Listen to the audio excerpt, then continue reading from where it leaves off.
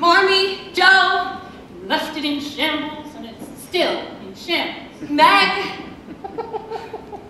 Did you see the look I gave the coachman Aunt March? His impertinence. He caught every bump in the road.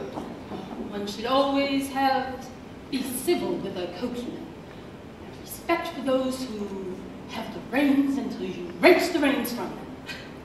Yes, Aunt March. Meg! Jo! Remember, Amy, you're a lady now. Yes. I'm a lady. Meg! When did this house get so small? As we grow grand, Amy, the world around us often diminishes in size. Well, I've known people who have nearly disappeared right before my very eyes. You're such a dear, Aunt March. Thank you for everything. I'll go see to that wretched coachman. Remember, Aunt March, respect those who have the reins. Very good. Amy? Meg? Amy! Meg, is it really you? Let me look at you. You're so beautiful. You're a mother now. Twins. I can't believe it. Even I. baby's home! Mar- Oh, you're all grown up! I am, Marmee. I really am. I feel older and sophisticated. You can't imagine all of the experiences I've had. Wherever I was, I think. Only Meg were here. Only Jo. Only Beth. Amy. I'm so sorry I couldn't be here to say goodbye to her. I cried for weeks. I couldn't stop. March said I was being unreasonable, but my heart was breaking not to be here with her. Beth understood. Jo!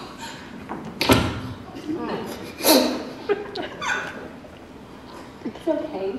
She said so you have to fret. Did she really say that? Amy, what did you bring back? Oh, I brought her back this metronome. The man said there wasn't another one like it. Where did we get this magnificent piano? Mr. Laurence gave it to Beth. She's a dear, isn't he? So good. I'm so glad you're back. Can we help you with your luggage? Oh, yes. Show us all the rest of the things. Amy. It's a king's ransom. You can't imagine all the experience.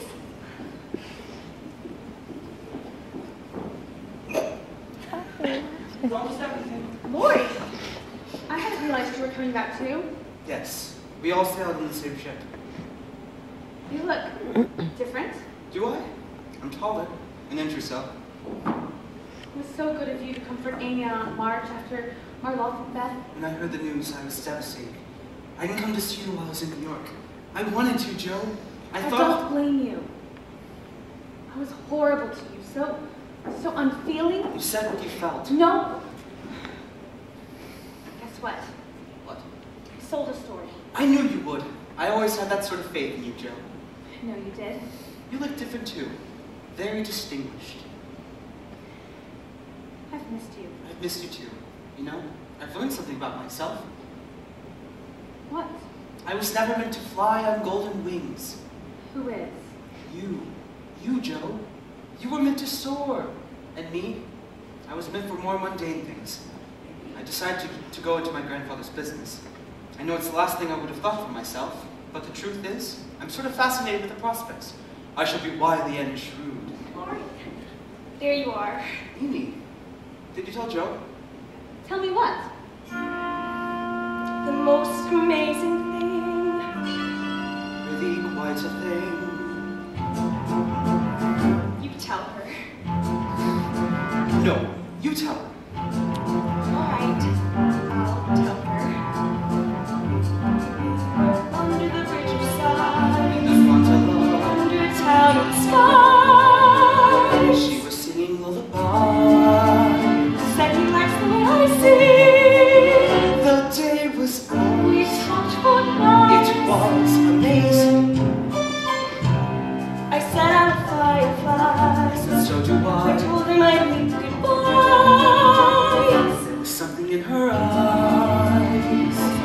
We